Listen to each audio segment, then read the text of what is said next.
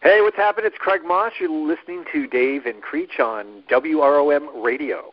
What's up? It's Jared Cohn. You're listening to the Dave and Creech Show on WROM. That M stands for murder. Murder people. Yeah.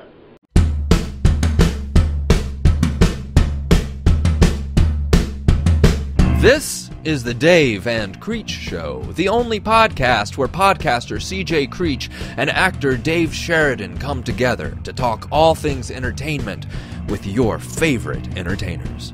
Want to ask our guests a question? Tweet them to at Dave Sheridan or at CJCNOV88, and they may be asked to our guests live on the show. We do have to ask you stay seated during the podcast because this ride may get a little bit hilarious. Now, here's your hosts, Dave and Creech. Hey guys, welcome back to episode 26 of the Dave and Creech Show. I am one of your hosts, CJ Creech, and while Dave will be joining us a little bit later, I am here currently with. Your co-host for this week, my name is Brian Daniels. That is weird how that's happening. Yes. Um, but yeah, we had a little schedule snafu, and actually, uh, I wasn't on the interviews this week, so it's kind of it's kind of funny how Dave's not on this part, I'm not on that part.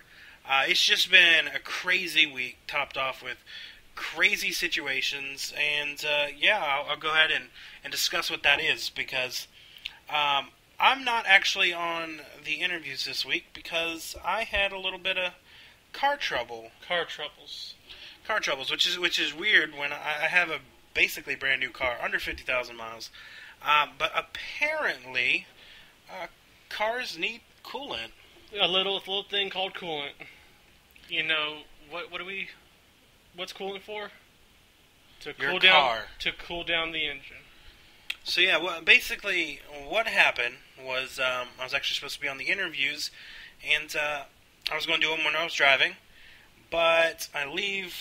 Uh, you, well, you were over. You were over uh, my house, and uh, you had just left because I had to go deal with some stuff. So uh, you had to go ahead and leave, and you had Lexi with you. So I'm like, I'll catch you later. So about three hours later, you messaged me, "Hey, just got to the McDonald's by your house," and I'm like, "Wait, what? Wait, what are you talking about?" yeah, keep in mind, guys, this McDonald's is like maybe a three-minute drive away from his house. Less than a three minute drive. So I'm like, I'm like, did you have to walk? What? Why are you just by my house just now? I thought you, I had to ask him if he out, did the interview with Dave. He's like, no. Uh, I actually had car troubles. I'm like, well, where'd you break down at? He's like, yeah, I'm, I'm at this Girl Scout building. I'm like, you're talking about the one right outside my neighborhood. Yeah. basically what happened was as soon as I I left his house, I turned on the car, the fan came on, um, and I was like, "That's weird." But I started driving it, and then the AC cut off. It's because it's one of these fancy newer cars that tell you exactly what's going on with your car, and so it's like AC turned off to high engine temperatures. And I was like, "Oh, that's not good."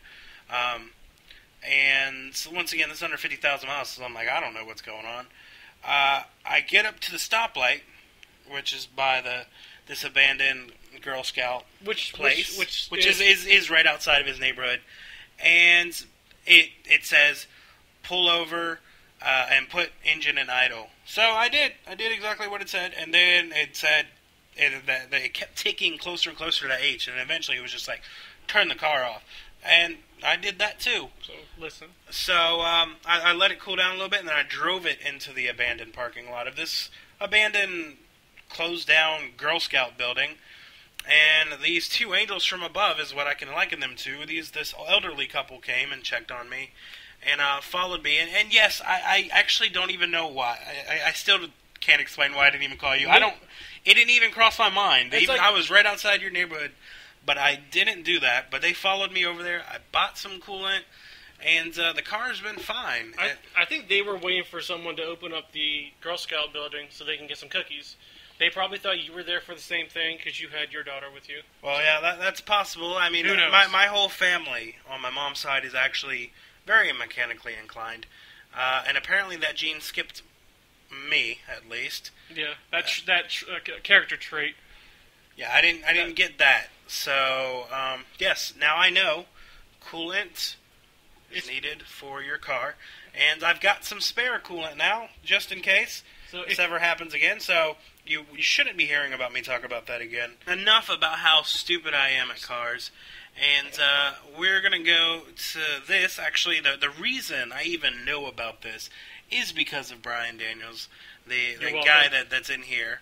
The, he showed me these videos on, on YouTube called Lists. And basically, if you haven't seen one, all it is is videos of lists top 10 grossest moments in movies, top 10 hilarious movie top cops, ten moments. It's top just 10 movie kills. You know, it could be any and top everything. ten anything. Yeah. And um, sometimes it's even more than 10, sometimes it's less than 10, but it, it, always is a list. And these things are really addicting. And uh, one of the first ones I, I saw because of him uh, was Top 10 Hilarious Movie Cops, where WatchMojo.com actually voted Dave Sheridan's role, our co host, of Doofy, number 8. And, uh, you know, that was really cool, and we, we put that out there. Um, and some fans, you know, obviously weren't very happy at the placing of it. But I mean, I don't have any qualms with it. We'll find out what Dave thinks next week. No, to be Uh, on to be on the to, list. To be honest, I mean, he he made it on the list. That's number eight of Yeah. all time in their opinion. I mean, when you think this role of Doofy was 15, 16 years ago, and yet he still made it to number eight, I mean, that, that's pretty impressive. kudos. That acting. But what we're going to do is a little plug right here for our uncensored and extended version of this podcast. We're going to play right now a little bit uh, from what you can hear if you check out the uncensored and extended version. Uh, that version airs and is actually released at 9 o'clock, right after this version that you're listening to airs live for the first time. 9 p.m. on Spreaker, SoundCloud, iTunes, YouTube, any and everywhere, really. Uh, you can listen to an uncensored, extended version of the podcast every week. And yeah, it's it's a it's a great listen. So here's a sneak peek, an excerpt of from that, if you will, of Dave talking about getting into the character of Doofy. And uh, if you want to hear more about it and hear some more stories about uh, his time on Scary Movie, make sure you check out the full podcast at 9 p.m. on those channels that I just mentioned. But I also went in as Doofy. I didn't break character. I was in the waiting room as Doofy. I auditioned as Doofy. Oh, I like, love your Keenen method. never, I love that. Yeah, Keenen never met me as not Doofy. You know what I mean? They brought me back with the rest of the cast, and I still stayed in Doofy. And then, you know, the uh, somebody came up from the studio and said, "You have to stop doing Doofy. You're kind of freaking people out. You got to show them that you're not. They think that we're taking advantage of like a special ed guy. You know what I mean? Like, they, they can you please tell them that you're not really." You know, totally 100% doofy because they're. I mean, look, I, I'm definitely doofy. There's, I am, I'm slightly special, right? But they Sure. wanted to s- show me that I, I, I could attain a driver's license legally, you know, and so like, because because you're upsetting some of the actors, they think that you might that we're sort of taking advantage of a of a guy like you. So So, at what point did you finally uh, become Dave? no, I had that's when the studio came up at this. It was like the table read, you know. And Oh, the- got- oh, the sort of gotcha, chemistry okay. Thing that they Gotcha. said you, you you know you got to sort of break character now Gotcha, because table you're read, freaking okay. people out. They think that you know it's hilarious, but they think that we're taking advantage of. That's- They think we really hired a, a guy. Now, we are going to get into the interviews this week. These are pretty much the majority of our episode this week. Now, once again, Dave Sheridan is doing these interviews by himself with Jared Cohn and Craig Moss. I wanted to be there, uh, but just remember the whole time this interview is going on, I'm on the side of the road of an abandoned Girl Scouts, just wondering when my guardian angels are going to come and save me from my stupidity. Enjoy.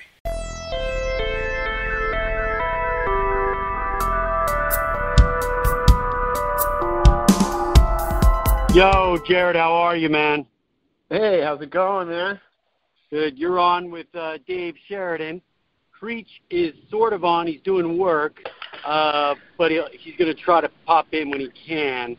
Uh, we just Oh. wanted to make sure we got this interview this week because we've been doing a uh, on the Dave and Creech show here on WROM Radio. We've been doing a one month sort of uh, blast of the Horde, and we're on. Oh, awesome, man. Yeah, that's great. Yeah. You started out first of all you're, you're directing you write um, you're, you're producing you're, you're kind of doing everything. I'm, I'm imagining you're still doing some acting roles here and there but did, did you break in as an actor? What was what how did you get to where you are right now?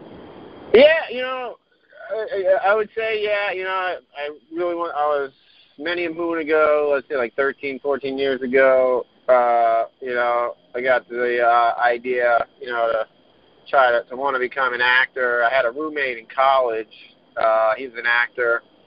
Um, so he kind of turned me on to it. So I was living in, I'm from New York.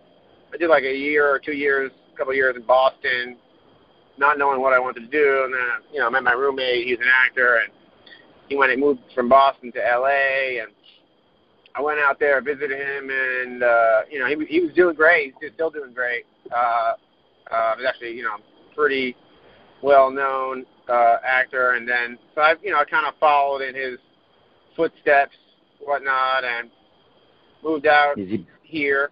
And uh, yeah, I was just you know I started taking a bunch of classes and I was doing all, all these like student films. I mean, I did a shit ton of uh, student films and taking classes and then uh, auditioning. I, you know, where I was working a bunch in these you know very uh, you know little films, very independent films, and uh, luckily I, I auditioned for the the Asylum um, back in 2003, and uh, you know I booked the part in this movie called Way of the Vampire, and then went on to do uh, a bunch more movies as an actor in uh, you know these asylum movies, and and then before you know, but at the same time, even before my first audition as an actor, and kind of before I started getting to the classes, I I had you know I started writing and 'cause I was you know I was reading scripts and trying to you know do those things. You sort of read those books on acting, and you know I went through that and started writing and and I, as I was acting in these asylum movies and uh, in other student film, uh, not student, not other student film, but student film started and other stuff. I was writing these scripts and script after script. I really got into this like hardcore writing, and I would just I've written a lot of scripts. Uh, not as many as other people, but more than other people. Some some other people. Um, and I had this one script, and I got to know the Asylum producers. Uh, big shout out to the Asylum, much love, because they read what they read it, and they were like, "Oh, we really like this. What do you want to do?" Uh, and I was like, "I want to make it." And at that point, I was, you know, really focused on acting, but sort of, you know, I had I had directed a, a movie uh, in between that that period where after I took out all my money, my life savings, and made this feature film that you know turned out all right. But uh, I'm glad I did it because when the asylum read my script and they, they wanted to do it, they were like, "Oh, do you want to direct it or do you want to play the lead?" And they were like, "Well," uh, I was like, "Well, you know," and then they were like, "Oh, by the way, we pitched it to Lifetime, and they like they really like it, so we could either." Make this movie with you in the lead and it'll be a small movie or you you know you can direct it and we'll put like real names you know stars in there. And I was like and you know the acting thing really wasn't I mean it was going it was moving along slowly and it's a tough it's a tough grind acting so it was really at that point that I was like you know what I'm going to direct this. Um and that you know it turned out really it did it did really well. Uh and now, uh, yeah, now tomorrow I start shooting my uh, tenth my tenth asylum movie that I uh, will be direct uh, tenth one that I directed. I acted in uh, uh, probably I'd say maybe ten or more than ten or fifteen or somewhere along uh, the lines of that. So I mean, I, I basically the way I got in was I auditioned. You know what I mean? I had a I had an audition as an actor to get my uh, contacts as as a writer director. So it's it's a lot of people are like, oh, how do you get you know how do you get in? You know how do you, how do you meet the contacts? It's all about who you know, right? Blah blah blah and all that, which is true to to some extent. You know, obviously talent is a factor, Um, but some of the most talented actors are waiting tables or you know in some community theater in you know Wisconsin or you know somewhere um, Oklahoma. But it, talent is you know definitely very important, but it's also about the look and who you know and you know and uh, but yeah, I mean I I auditioned. Proud to say that I, I auditioned. So I earned sort of earned those contacts uh, based on uh, acting ability, which really has nothing to do with well, it sort of has something to do with you know writing directing ability. It's all hand in hand. It's, it's, a, it's, it's everyone has their own path. In my past, you know, you, it's, uh, it's sort of hard to. You really, it's not a path that I guess can be duplicated, but every path is so unique. You know, you ask everybody that's working in this industry, and, and unless they were born into it, or unless they were just someone gave them a lot of money, it's always like, well, I met this guy from film school, and then uh, you know, I worked as a crew on this guy's shoot and met that guy, and you know, it's always it's always like I met this guy who introduced me to that guy, who introduced me to this guy, and now I'm working on this this thing or that thing. So it's uh, but I would say to all, any aspiring uh, filmmakers or actors or writers or whatever, you really gotta, you know, if you really want to give yourself the best chance to succeed, move to LA. You know, that's where it's at. I mean, uh, if you read the book great book. Uh, it's called How to Write Movies for Fun and Profit with the word fun crossed out. Written by the guys. Uh, I think they did this. You know, like Reno, the Reno Nine. You know, those those guys. Uh, they write a lot of movies. Lennon uh, Garant. Lennon Garant.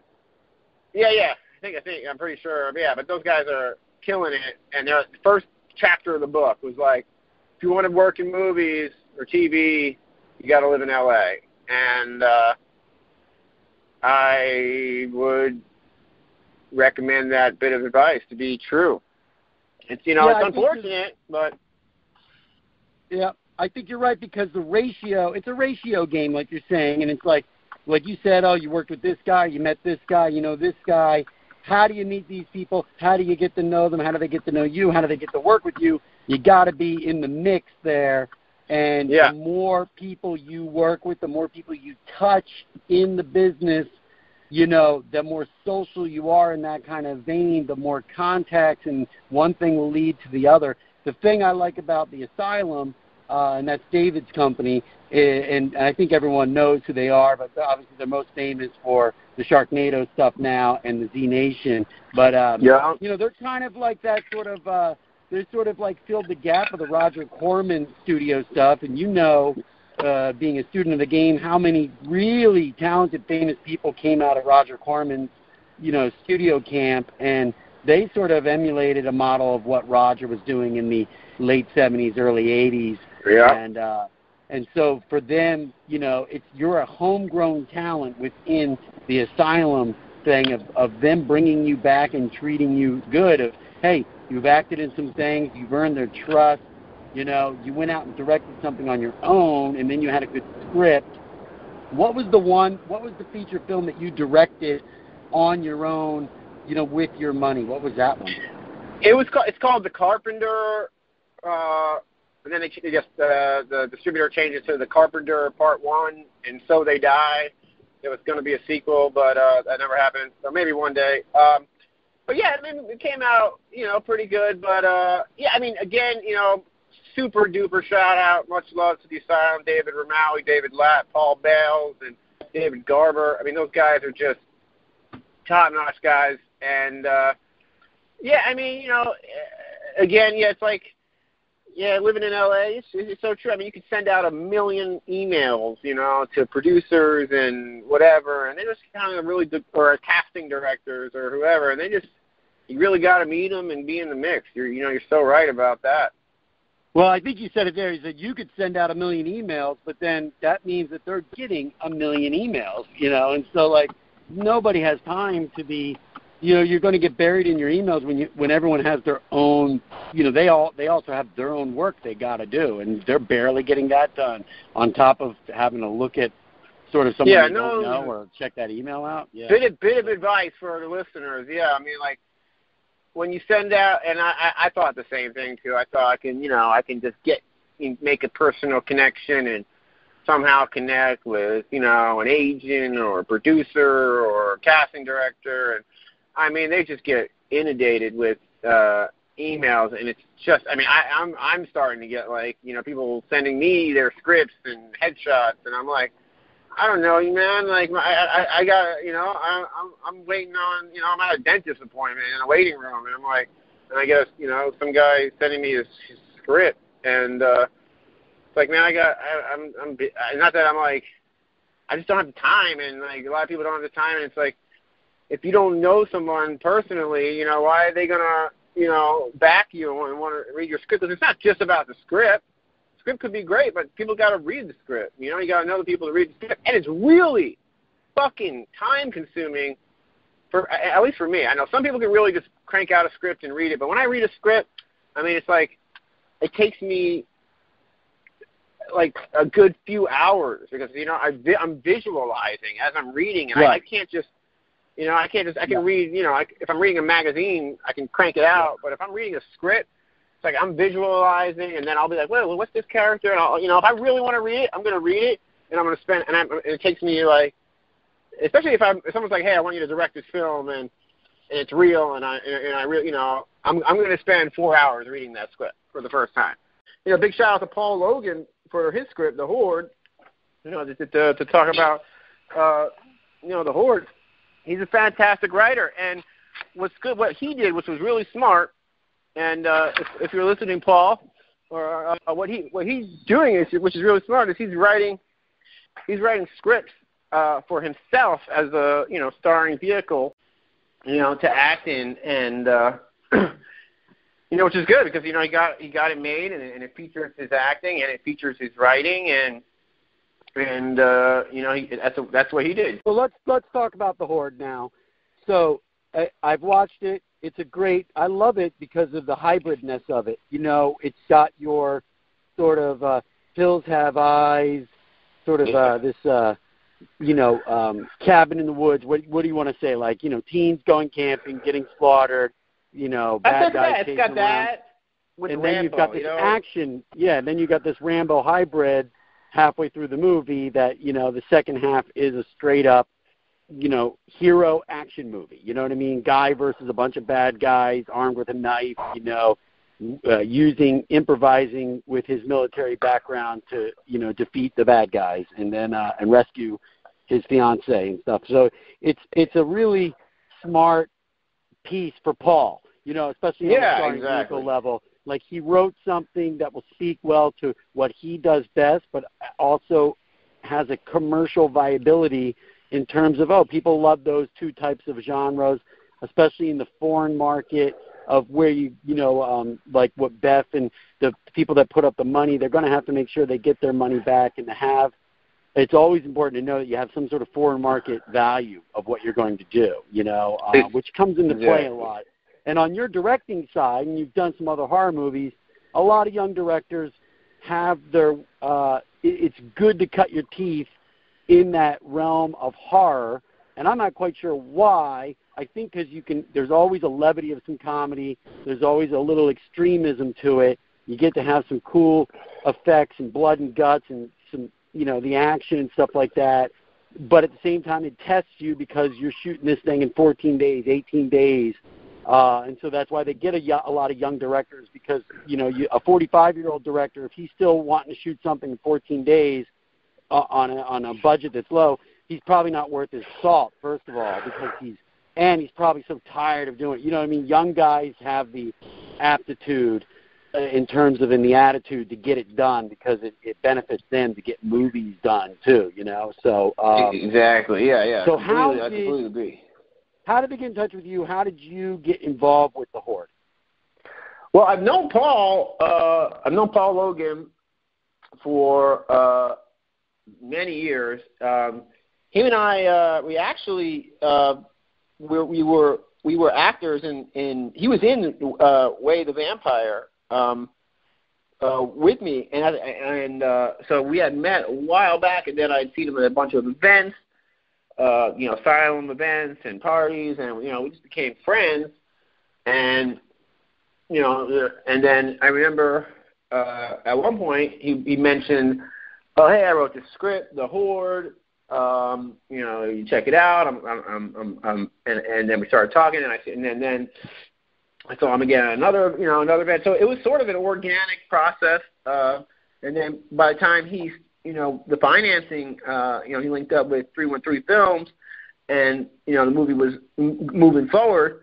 Um, you know, he and he had seen some of my films as a director, and uh, you know, and he was came up to me and was like, I'd, you know, I'd be interested in in uh, having you as a director, and so he introduced me to you know Beth and, and the producers, and luckily, you know, we, we we got on really great. We had this, you know, the same same vision, and and uh, it happened.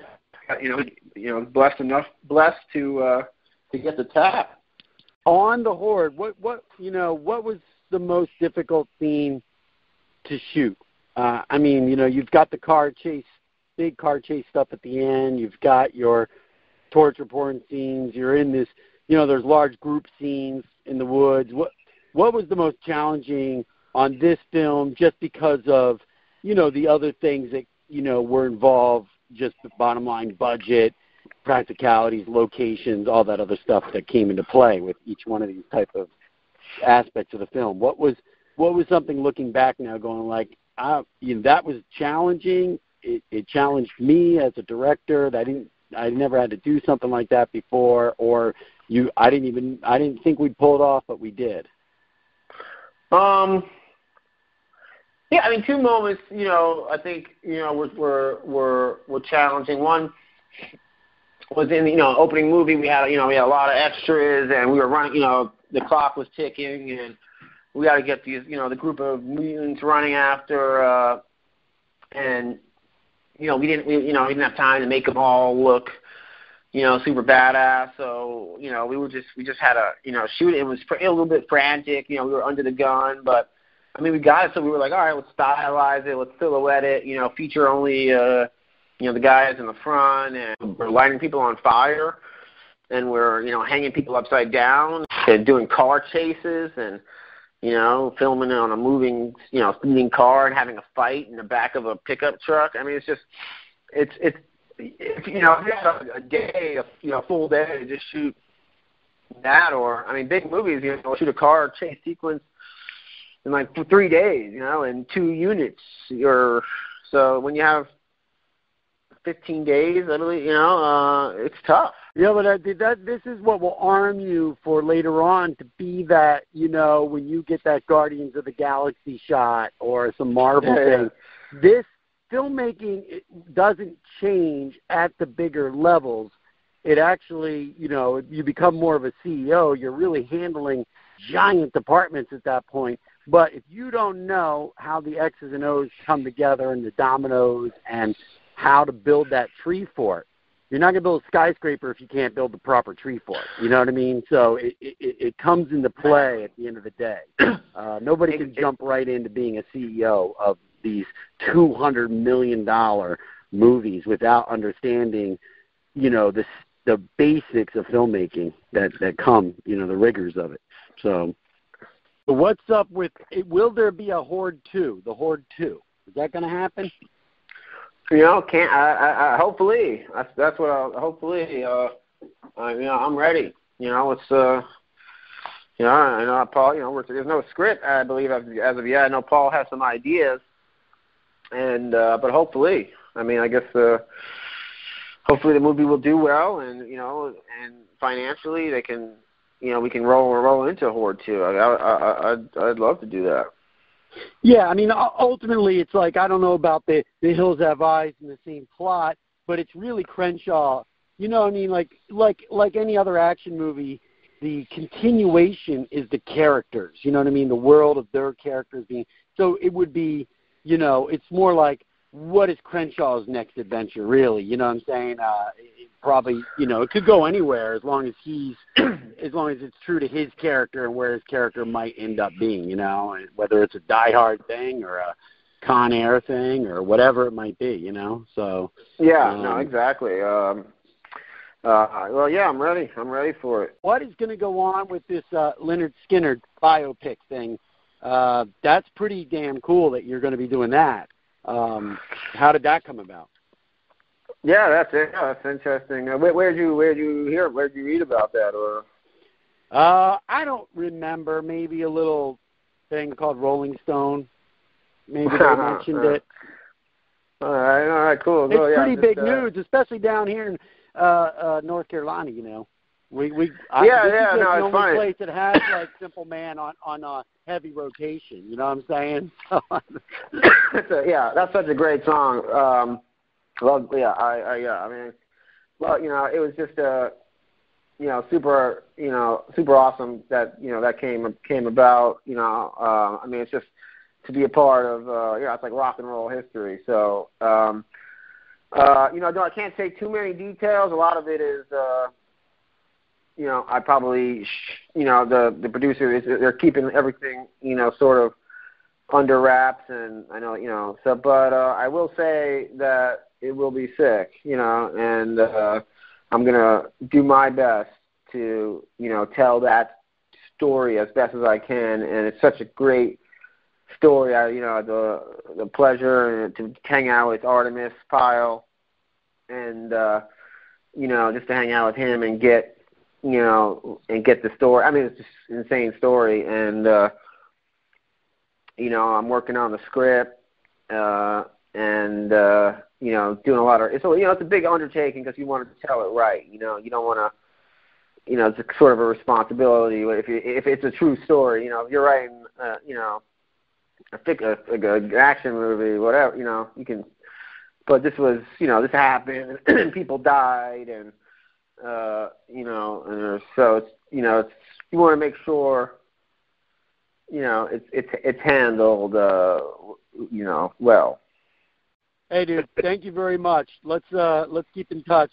Awesome man, well thanks so much for having me on and uh uh yeah, definitely. I really I really appreciate it, you know. Really appreciate it. Uh, this is the Dave and Creech show when we've got Craig Moss on the show. Many of you might know him as the director of the three-peat of the Bad Ass and Badasses, Badasses in the Bayou. Um, what what were the three the, those three badass movies called? Badass, Badasses. First one was yeah. right? The first one was Badass. Second one was called Badass Two: colon Badasses, and then the third one, which was you know the the big Mac Daddy of them all, was Badasses on the Bayou. It didn't even get the Badass Three moniker. It was just Badasses on the Bayou. You did not get the. Um, did, were you able to sort of get some sort of uh, bastardized rendition of a Creedence Clearwater song on that? we we we we tried, but we ended up getting a local uh a local Baton Rouge band that put together something that sounded like it. So yeah, it was it was it was still damn good. You know, we were Yeah, that's what I meant. Yeah, Yeah. exactly. Yeah. Yeah. You know, you're, you know, I mean, even even the biggest movies aren't they they they barely have the budget to afford a Creedence song. I mean, those guys are taking top dollar. You know, exactly. You- that's the funny thing is now you've made a lot of films. You find it when you go after music, doesn't it blow your mind like like oh that Jefferson Starship song is that expensive? What the fuck is that about, right? Or something like you know, it's like you can imagine like uh, Enter Sandman, Metallica, or Yeah. some sort of ACDC song. Okay, I get it. That stuff is super popular. I can see how they're asking top dollar. But when you're talking about, you know, uh, a Gary Glitter song or something even more, you know, um, Well, we, we we try to get a we on the last movie I did, we tried to get an Eddie Rabbitt song from 1982. right? and it was like as if we were going to buy like a, a, a track from Abbey Road. It was like the most expensive thing, and it was like, are you kidding? It was like more than the budget of the film. Yeah. It's Is Eddie. Rabbitt even alive? Uh, it's a good question. I hope Was he a so. rabbit? Was I, I hope to? God he is, because you know we're all big fans. Yeah. I wonder if he was like, you know, the Roger Rabbit or, you know, like it was Eddie Rabbitt. Like, or I think it wasn't spelled like rabbit. Was it? Maybe we're saying rabbit, but maybe it was rabid, like a rabid dog. Eddie Ra- Eddie Rabbit would be the good punk rock version of only covering Eddie Rabbitt songs. You know what I mean? right. That's actually Eddie a great. I think somebody is touring with that name right now. So I think your Eddie dream Rabbitt? is reality, my friend. Jeez Louise. Yeah, That's you know, this is what I do. I'm in the zeitgeist. You know what I'm saying? exactly. Um, so so so, how did the first badass come to be? Did you write that film? I did. Um, the, the it's a, it's a very kind of cool story the way it happened. Um, so apparently there was this incident that happened up in Oakland on a on a, the, one of those transit buses where there was an old man, probably 72 years old, huge gray beard. I mean, he literally looked like Santa Claus. Huge gray beard. He's like six foot two, um, kind of a strong guy. Wore a fanny pack. He wore this uh, powder blue shirt that said on the back, "I'm a motherfucker," and he wore these like basketball shorts and old like Nike high tops. And he was sitting on the bus, and he got into an altercation with this younger African American guy, and um, which you can see this video by the way on on YouTube. It's called Epic Beard Man because they ultimately called this guy Epic Beard Man. So who's the old guy? So the old guy. Um, some words were exchanged. The two of them um, got into a little heated argument. The old guy decided to move to the front of the bus, and there were a couple girls in the back of the bus who were recording the entire thing on the iPhone. And they said to the uh, the younger African American guy, "You're not going to take that. You've got to go stick up for yourself." So the young guy goes up to the front of the bus and goes at it again with the old guy, and then threw a punch at the old guy. And then the old guy just went nuts on the younger guy, knocked him out on the bus, and he was bleeding just like profusely. And uh, basically yelled at him, "I told you not to fuck with me," and then hopped off the bus. So And he more and he more than told him not to fuck with him. He had a shirt. He said, "I am a You know, motherfucker." like you would think from that moment that he would have just like not even have gotten involved with it, but he didn't read the shirt, obviously. So yeah, now it's questionable whether the guy could have read in the first place. I don't know because Mm-hmm. you're screwing with someone in the back of the bus, a senior citizen, and he when he moves to the front of the bus to get away, but then you notice the back of his powder blue shirt says "I'm a motherfucker." Well, you know, and you and and he and he's still sporting a fanny pack and post, you know, the year 2005 or whatever. You figure, uh, well, this dude, you know, is is ballsy enough to put that on a shirt and a powder blue shirt at that. Right. So he might be able to back it up, yeah. and, and he proved that he did. Right. He he took care of that thing, and so from that video came out the idea of what would this guy's world be? What what where where you know what if we were following this guy's sort of adventure? What would that be? Right? Yeah, yeah, because apparently what because once those two young ladies who recorded on their iPhone hooked it up on YouTube, it got like a million literally like a million views overnight. It was like this huge internet sensation. And so the producer that I had worked with on a couple other films prior to that called me up and said, "You got to check this out." And I looked at the YouTube clip. I'm like, "Oh my God, this guy's unbel- this is unbelievable." And so we ended up um, thinking that we could sort of inspired by that incident come up with this sort of senior citizen who you know wasn't going to was basically going to going to right all the wrongs in, in in society and stand up for himself and it was sort of like a modern day like death wish sort of concept with you know the Charles Bronson movie. And Right. and and Danny had come off of doing machete. He likes to say the way he pronounces machete which I, I like to say machete but he says machete. And so from there um, he was he he loved the idea of playing a um, of because the character is a Vietnam vet, and he loved the idea of doing that and and supporting the troops and and um, and we wanted to get behind that as well. So we kind of created the story around that concept. Right. Yep. And and and and then the rest is history. Went on to make three of these movies. Uh, they've been viewed by hundreds of millions of people by now, mainly via the Netflix is where everyone has really been exposed to the majority of it. I would imagine. Correct. Yeah. I don't think I don't think there's ever a time that I don't log on to Netflix and see that on some sort of one of my suggested playlists. You know what I mean? Even if it's in the kids animation or family friendly, it's like you may enjoy uh, Badasses in the Bayou. Uh, Right. Five year olds might- love they love to watch a good ass kicking. They they they enjoy Right. it. So I don't know. I don't know what who they paid at Netflix because that thing is lined up in like family comedies or Right. you know, and it's next Right. to like it's like it's next to Santa Paws Yep. and Pinky Dinky Doo and Badasses in the Bayou. You know, and it's like what? What? Wait a second. None of these, you know, and the Bernstein Bears. Yep. Like, how- what do these have in common? You know, I guess Trejo might have voiced one of the Berenstein Bears, so somehow the algorithm still lines up badass. The guy is sort of this, you know, he he's he is the Mexican Kevin Bacon of cinema. You know, I mean, He he's done like right. 172 films, so the six degrees of separation. You know, he's definitely two degrees of separation uh, on Netflix. You know, he's you know I think he's like a half one. a deg- I think he's like a half a degree of separation. I think everybody's been in a film with Danny. So I've done, yeah, I think I've done two or three. And, Have you? Uh, he's a pleasure to work with. he's amazing. Um, you know, obviously, uh, Devil's Rejects is the more formidable one that we had a great time on, but Bubble Boy was was also a. I lo- I like the fact that we're in Bubble Boy because that was Danny doing something that was really off of, uh, not in his wheelhouse. You Right. know what I'm saying? Like, you know, you're talking about a, the guy from Con Air and Machete and Devil's Rejects and Badass and Badasses, et cetera, et cetera. Like these are all movies that fit his thing, and then next thing you know, you're like, oh, wait a second, he's the love interest of Su- Swoosie Quart, Quart, Quartz, whatever, and and Bubble Boy. You know what I mean? yeah. So Yeah, no, he you know, he's actually very funny. Like you can put him in these Oh, comedic yeah. situations. He he plays it great. yeah, and and and, he, and you know, and that's the thing is Badasses.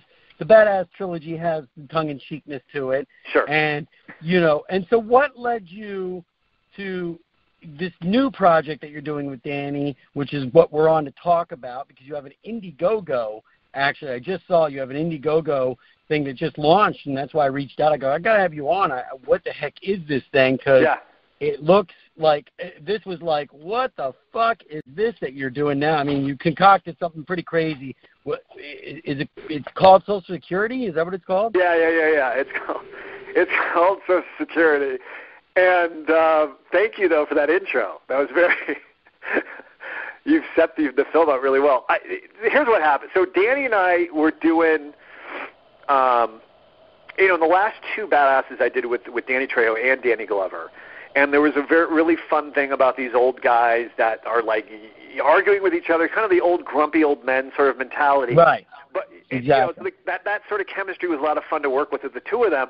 But then also these guys that come together to kick ass and and and beat the crap out of people that are you know bad people. And so Danny was turning 70 years old, and we were talking about that aspect of it, and kind of joking around that maybe you know that he'd be in a retirement home or assisted living home pretty soon, and and and what if what if we did a film about about that concept and somebody breaking in and he would kick the shit out of everybody and we were jokingly saying but then but then as we kind of thought about it we thought how cool would it be to have this sort of die-hard concept in a retirement home where you know Right. some some some bad people break in trying to take advantage of some people that are pretty you know wealthy and have some you know high stakes wealth there and and Casting- Danny's there casting visiting a friend and and and has to has to save the day but the difference what we wanted what Danny really wanted to do Danny wanted to play himself in a movie he wanted to play himself as the lead so he's Danny Trejo in the movie and so the concept was for him to do this but also use what he's learned from all the action films he's done for the last 30 years and apply that to like kick ass and save the day. Right. I love that. That's a really funny idea. So there's really two hooks to it actually, because it's Danny playing Danny himself. Right. He could be could Danny could be caught up in any action movie. You know, like oh Danny, Danny's down at uh wherever. You know, he's out with his son at a at a uh, X Games and something happens. You know, but but so you already have that level. But now you know that's a unique one to set it in an assisted living or what you want to a simple way to say it old folks home Right. and uh, and have like the older people also helping fight back, et cetera, et cetera, and just some a lot of funny gags there. Yeah. Uh, now, now going back to Danny being seventy, by the way, is that sort of blows my mind that that guy is seventy because if you know uh, you know, I know good black don't crack, but goddamn, the Mexicans, they, they, you know, he he's got that thick head of hair. It's black as hell, and you know what I mean. And he's Yeah. Yeah, so he's- muscular and carrying some muscle tone, and so for like I, I and all the physicalities he's done over the years with the movies, you'd think that guy would be feeling his age, but uh, uh, you know, he's in great shape and uh, great energy for a seventy-year-old man. I hope I can be that that way. Yeah, well, I think uh, those, those Tito, ta- those those I'm sorry, those Trejo's tacos that he eats definitely helps. Like he definitely it's it's a lot more of a healthier diet. But I, he, that guy on set is amazing. Like he'll go all day, all night, barely gets any sleep, and he still gets involved in a lot of the stuff that we do for these sort of action-filled scenes. Now he's got a stunt double, obviously, but he will take it as far as we need him to take it. And there's a lot of physical stuff that that kind of goes on, and the guy is up for anything. Uh, And he's amazing. He really is amazing. Uh, I I like the idea that his stunt double's just his brother. You know, eh, it's my brother. Uh, you know, um, what do you want to say? Miguel Trejo. It's my brother Miguel Trejo, and he's seventy-two. You know what I mean? Right. it's just like, Right. it's just like, yeah, I, didn't, I didn't get the breaks Danny had, but no, uh, he's what? the no, he's I- 67, so he's three years younger. Yeah. So he's got a little more. He's got a little more yeah, to him. exactly. You know, and he has to. Yeah, he just has to slow it down a little bit to really sell the stunts because. You know, sometimes I watch that and I go, "That was clearly a 67-year-old doing that." Right. You're right. Yeah, yeah. It's it's it's pretty amazing. I mean, we had we had there was a moment in uh, Badasses on the Bayou where both Danny Trejo and Danny Glover had to. There was a uh, the bad guys came in with some gunfire and they had to dive behind some barrels, and so Danny Glover saw his stunt guy do it and say, "Oh no no no no, that's not how I do it. Let me show you how it's done." And he gets up and he does it. Probably does it at like 20% of what the stunt guy did it at, but regardless, made a point to do it anyway, and prove that he was very true to his craft and was going to be very authentic to the stunt. So. These, sometimes these older guys, they don't, you know, they won't rely on the stunt guy. They'll go ahead and do it themselves. I I've had that experience myself on sets where where there'll be a stunt guy doing something where it's like, okay, I got to get picked up by this like giant dude and slam down on this desk. But okay, Dave, we got you a stunt guy. He's gonna do that. Okay, great. And then they'll they'll shoot the stunt. All right, he's gonna pick him up and he's gonna slam it down. Holy crap, that looks hard. They really threw that guy on the thing. And they're like, all right, now Dave, you get in there because we need to match the shot. So our our close up's to be you getting grabbed. And the, and the, but the thing is this: you're working with some professional wrestler guy, and he just goes and grabs you and throws you down on the desk too. It's like the same stunt, but they're calling it matching. And I go, well, you know, I'm kind of really doing the stunt actually, and and I didn't even you didn't even think to give me like the back spine protector thing, you know, Right. like the scorpion. Speaking of the ribs, because we we talked about me with the broken ribs right now. I'm just dislocated rib, and yeah, because it happens. I've, I've, I, I do tend to do my most of my stunts myself, but even when you, and the reason why I just do them is because they always call for like, let's just match it now, and the guy doing it's actually hitting you and throwing you anyway because you want it to look good, but you're pretty much doing about seventy-five percent of that stunt, you know. So Yeah, yeah. They um, they they, they so- disguise it with their. They say they're going to match it, but you know, they're, they're, they're you're doing the stunt anyway. Yeah, Yeah. exactly. And you're not Yeah. even getting the pay. And then so so um going back to Social Security, Yep. so you've written you you've actually written the full script. You went and just you went it and and it's on your own. You just did that one on your own. You wrote it. No co-writer or what's anything like yeah, that. yeah, yeah, yeah. I wrote it, and then what happened was we, um, w- you know, Fox, 20th Century Fox, who did all the badass movies, were going to uh, get involved in it on some level. But what ended up happening was they kind of shut down their lower budget production uh, division there. So Danny and I were like, okay, well, we gotta we gotta get this film made, and we got to figure out how we're to do it. And so we were people told us about the crowdfunding, and so we thought well it'd be a great idea um, to get you know to get people and fans involved in the movie making, where they can be a part of the movie making and see the film that they want to see, as opposed to you know a lot of times when you do it through the studio or other production companies, they cut out some of the best stuff that you want to be able to include that the fans want to see. So this made a lot of sense to us on a lot of different levels, and so um, we kind of set out and created this um, uh, campaign to to get supporters to to you know the, the fans and, and the people to back the project. And, and and they get and people that do that. I mean, the concept is is that the people that back and support the the the, the project will get really cool things, like really cool perks or rewards, depending on how, you know how much support they give it. So they can get anything from you know having lunch with Danny on set to um, being in a fight scene to um, uh, having a couple lines in the movie on camera.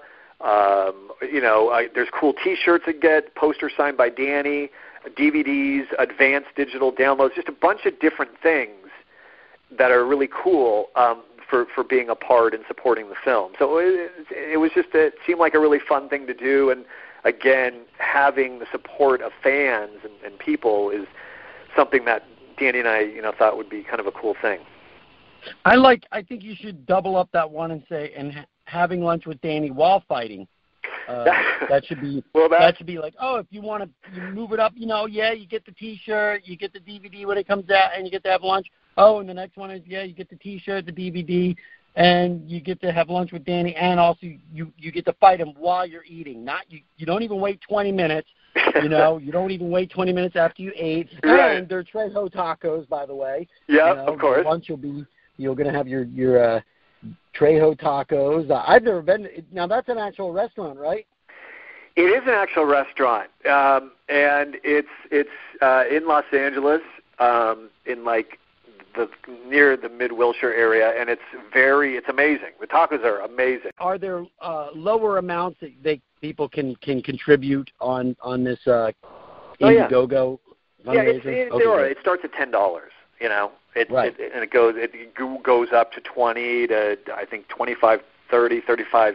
You know, it just goes up from there. Yeah. So yeah, if somebody just wanted to donate ten dollars, uh, For, so for the cost of two Trejo tacos, right? you can get in, you could be a part of this, you can get a great reward, and know that you were a part of like, whoa, I helped make this, you know, epic Social Security movie, which I think, you know, honestly, like, uh, it, I feel like this. I want to see this movie. It feels like the natural progression of what I want to see Danny Trejo be doing. You know what I mean? Right. I think he's going to be poking fun at himself a little bit more in this, but at the same time, it's still going to ha- deliver on the action stuff, and it's a really unique way to get into Danny doing what Danny does, but also servicing a, s- uh, you know, a serve. I'd want to say a typical, you know, action movie because it's in a so, but you know, like you said, it's Die Hard set in a Social Security or a uh, assisted living home.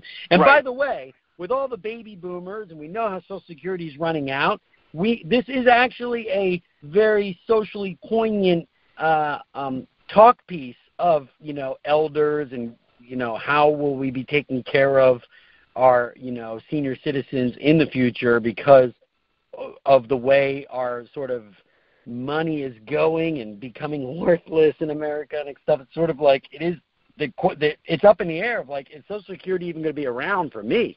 You know, Right. I mean, I'm only Yeah. a few years away from wanting to use it, and I hope it is because I want my, you know, bitch better have my money. You know, you know that poem, that that nice famous poem from "I'm Gonna Get You Sucker." You know, that of, course. that's yeah. the way I look at that's the way I look at government with my Social Security. When I turn 65, that check better be coming. Otherwise, I'm going to be sitting there on Capitol Hill going, "Bitch, better have my money." Where the fuck is it? I paid it. You know what I mean? I, re- I see it being taken out of my check every week. I see that little thing, and some of the other things I don't even know what they stand for. You know, I, I apparently I'm playing scratch. I'm giving money to scratchers or something. Right. There's, there's all sorts of Navajo Navajo code talk going on on my paycheck at the bottom. I don't understand what some of this stuff. FICA, what the hell's a FICA thing? You know, I thought that was like my credit score. you Right. know? That's the feminine I'm- version of your of your credit score. Exactly.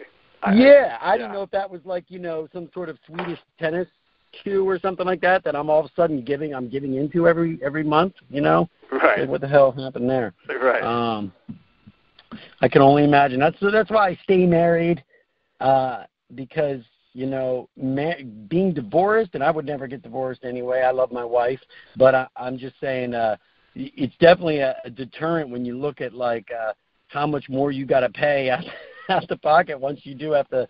You got your, you know, divorce is not a cheap thing, so it's definitely not something.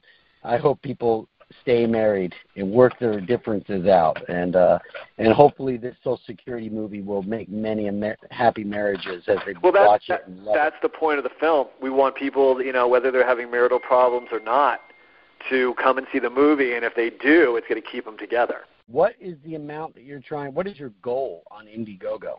Um, right now, the goal is set at two hundred and twenty-five thousand.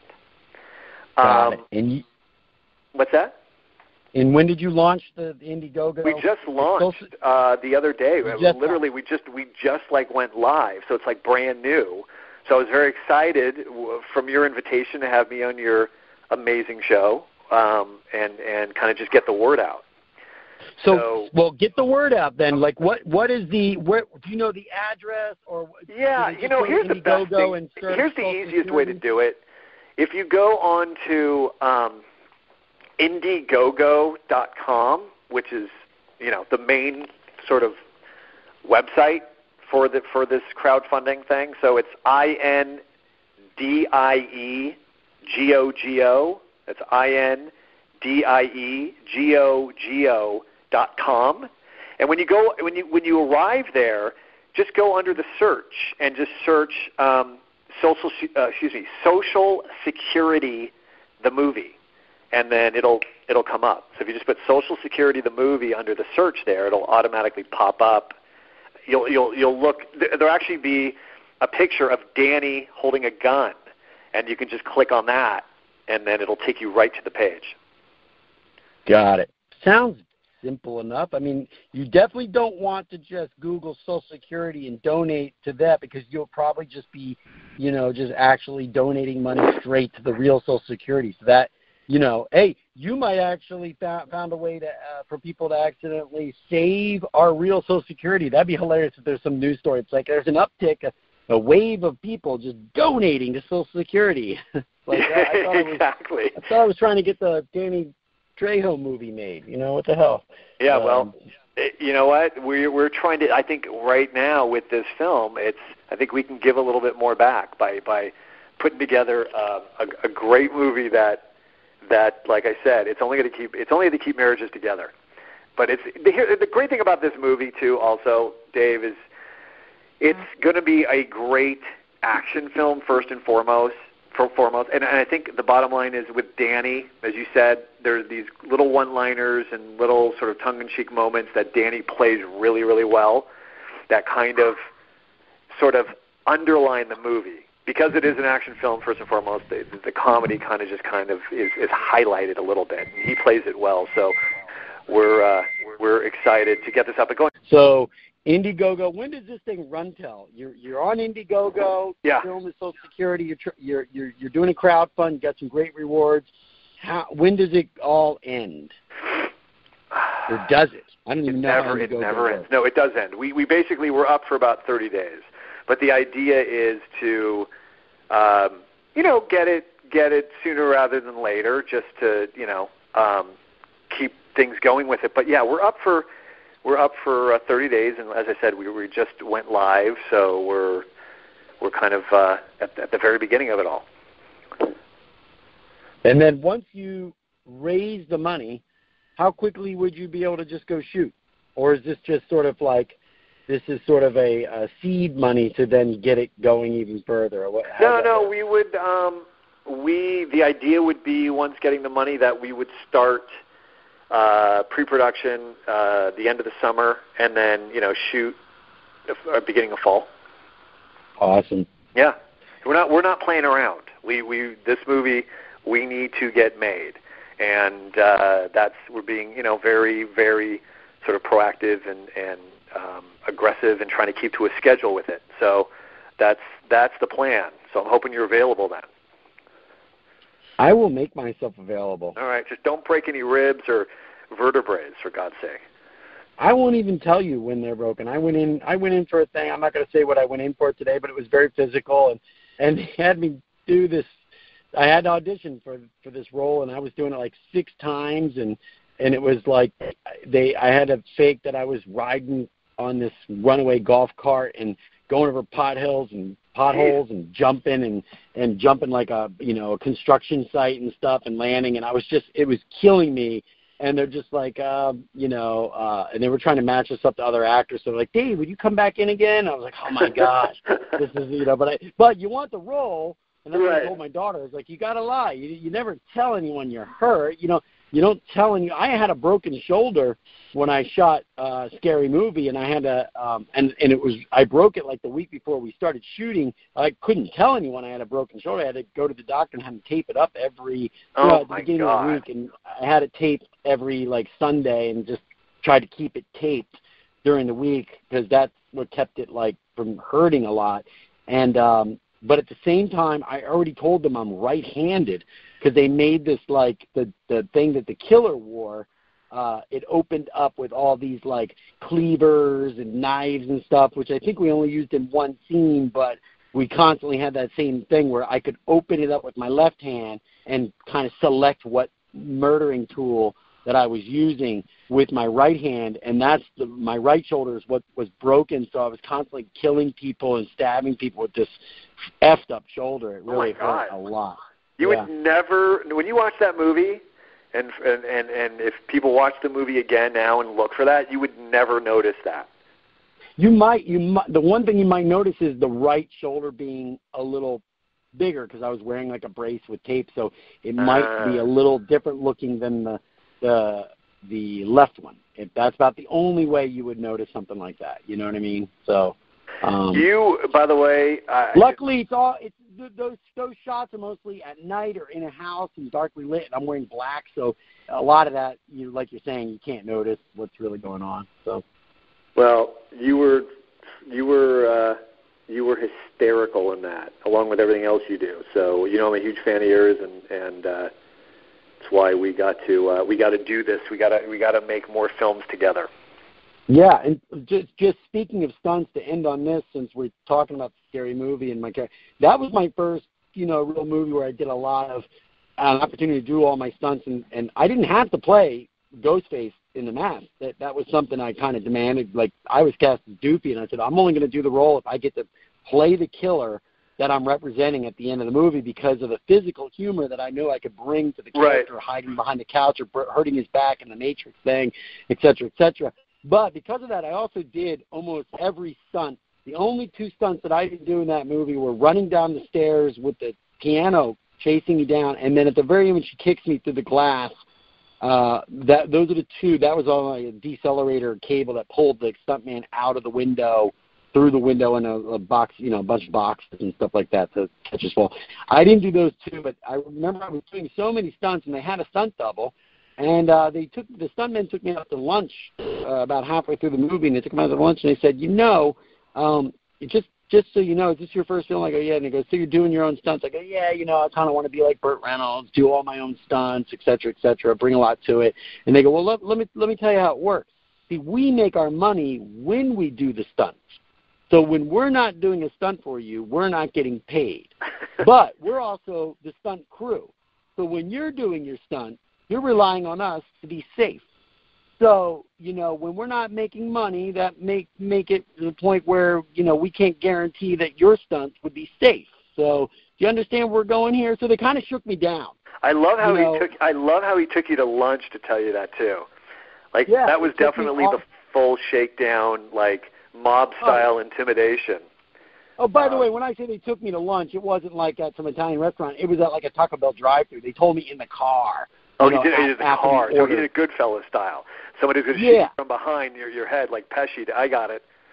Yeah, It I think sense. it was like you know, you know, what do you want, Dave? You want, and they, you know, they were paying, they were buying me the lunch in the drive-through, but it was like, you know, it was sort of like, uh, okay, I'm in the car. I think they just wanted to be somewhere where they, where no one, it wasn't on set, and no one heard them kind of give me the shakedown of, right. this is the way it works. We're doing the stunts. That's amazing. Because we got to get story. paid. And we're also responsible for your safety, so keep that in mind. And uh, then I was like, okay, yeah, he can do that stunt. Yeah, it's fine. You can do the stunt. Did you? Was that your first big gig? Was uh, it was, uh-huh. yeah. Yeah, yeah. So so how was it for you right after that came out? Like the the for opening weekend, and Oh, then yeah. I'm sure everything changed, right? everything changed because that was like it opened up. I think we beat X Men. The fir- that was the first X Men, so we were the week after X Men or the week before, and we beat X Men, and it was you know the number one movie, and it and it broke all sorts of rated R records and stuff. And I was in, it, it just so happened to be that I was in New York City the week that movie was coming out, so it was kind of interesting because I was doing a lot of press on the New York City circuit, which is like you know uh, the Today Show and Fox Channel, Fox News shows and CBS. You know what I'm saying? So it was like right. I wasn't like, oh man, I, w- I happened to be in like, uh, you know, I was in uh, Lancaster, Pennsylvania. I was like, I just happened to be in New York City, so that they were lining me up with a lot of press. So it really, it was a one-two punch to be in the biggest city in the world, you know, on the biggest stage to do all the press. When that movie came out, all of a sudden there was a reason why people wanted to talk to me. You know what I mean? So right, right. yeah, for sure, for sure. I was like, no doubt, I was young and got cocky and got a big head and thought it was going to be super easy. You know, because I think it was. I think it was like my first audition too. Are you like- wow? How how old were you when that when that came out? I was old though, yeah, because I had a TV show on uh, on MTV. Okay, You know, when I was 25. gotcha. So I think I was 27, maybe. You know, I did the TV show for a couple of years, and then um, I, sh- I, you know, this is not about me. We, you and I can talk about this later on. The long, long, the short story of the long of it all is, I wrote a movie that w- that was being produced by Dimension Films, and before they greenlit that movie, they said we want to put you in this movie. So I, I still had to audition, but I was sort of being uh, groomed, and and the uh, Weinstein's were kind of pressuring. They they put a little like, this is the studio's choice. You know what I mean? Gotcha. To, to Keenen, those guys. But Keenen would not have. He wouldn't have said if he didn't think I was the guy. That you know, it just worked out that they made a suggestion like you got to see this guy Dave. He's going to be in another movie for us, and then he's and then I I but I still had to audition and I and I went in and just did what I had to do. And Keenen was like, that was awesome, and uh you got the role. So, wow. but I also went in as Doofy. I didn't break character. I was in the waiting room as Doofy. I auditioned as Doofy. Oh, I like, love your method. never, I love that. yeah, Keenen never met me as not Doofy. You know what I mean? They brought me back with the rest of the cast, and I still stayed in Doofy. And then, you know, the uh, somebody came up from the studio and said, "You have to stop doing Doofy. You're kind of freaking people out. You got to show them that you're not. They think that we're taking advantage of like a special ed guy. You know what I mean? Like they, they can you please tell them that you're not really, you know, totally 100% doofy because they're. I mean, look, I, I'm definitely doofy. There's, I am, I'm slightly special, right? But they Sure. wanted to s- show me that I, I, I could attain a driver's license legally, you know, and so like, because because you're upsetting some of the actors, they think that you might that we're sort of taking advantage of a, of a guy like you. So So, at what point did you finally uh, become Dave? No, I had. That's when the studio came up at this. It was like the table read, you know. And Oh, got- oh, the sort of gotcha, chemistry okay. Thing that they Gotcha. said you, you you know you got to sort of break character now Gotcha, because table you're read, freaking okay. people out. They think that you know it's hilarious, but they think that we're taking advantage of. That's- They think we really hired a, a guy because you know there was like the guy the guy that played Corky on uh I don't know Life Goes On or whatever it was called. Right, right, right. Sure. So That's that's great. That's very funny. Anyway, hey, Creech, Creech is not on, but he's going to listen to this. Let, this is not the Dave Sheridan interview hour. We don't need to chat about that. Let's. We are, you know, hey, it's been a pleasure, Craig. Uh, we're going to have you on again once you've shot the movie Great. and you're on to talk about the shooting of it, and hopefully that'll involve me as well. But you know, right now it's all uh, full tilt, Indiegogo, Social Security. You're out to you know get the fans to um, help be a part of this movie in a real fun way. So if you're uh, if you love Danny Trejo and who doesn't, you know, log on to Indiegogo. Uh, you know, put in the the keywords Social Security the movie and um, give till it hurts, so that Danny Trejo can put the hurting on the bad guys in Social Security the movie. All right, guys, welcome back. That is going to end it this week for the Dave and Creech show. I want to thank Brian Daniels again for, for coming on and, Yep, yep. and being my number two for this. Who and knows? Who knows if I'll return? he probably won't. No, but, probably not. But you know, you never know. You're that's you're- that's the good thing about this podcast is it's it's not predictable. Um, but yeah, so we hope you enjoyed it. Thank you again for listening on WROM, or if you're catching out the uncensored extended version, YouTube, Spreaker, iTunes, blah blah blah blah. We hope you enjoyed this week. Uh, we've got a great guest lined up for you next week. We're not going to reveal it yet. We'll save that reveal for a little later in the week. Hope you guys have a great weekend. If you're in America, happy 4th. If you're anywhere else outside of America, just have a good weekend. And we will talk to you next week on The Dave and Creech Show. Shut up and sit down.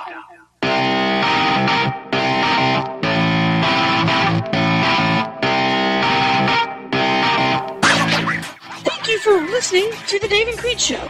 The views and opinions expressed in this podcast are solely those of Dave and CJ. These views and opinions do not necessarily represent those of Creech Creative Productions or any of its affiliates.